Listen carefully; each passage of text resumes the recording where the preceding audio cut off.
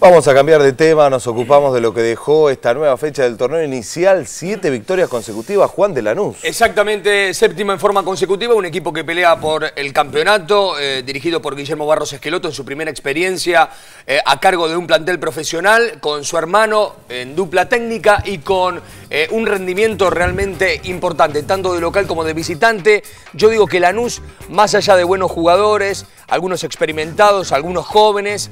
y de muy buen rendimiento, tiene eh, un plan de trabajo, sabe a lo que juega, hay funcionamiento y esto es prácticamente una escuela que viene ya desde la NUS, desde sus dirigentes, desde la honestidad del trabajo y la apuesta a largo plazo. En este caso, la confianza para Guillermo Barros Esqueloto y aquí se están viendo los resultados. Victoria 2 por 0, muy rápidamente a los 25 segundos ponía el marcador 1 a 0 Guido Pizarro y sobre el final, en el comienzo y en el final del partido, para la victoria de Lanús, Diego González, minuto 49, el próximo rival de Lanús es Estudiantes de La Plata.